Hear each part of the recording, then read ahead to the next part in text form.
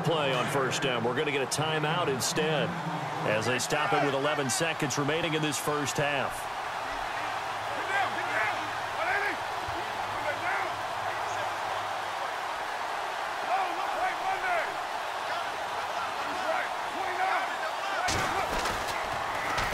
Now they'll run it on the toss. They find some open field here.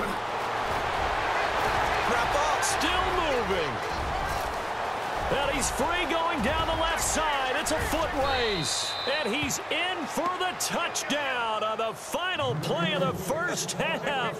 The prayer is answered. How did they get that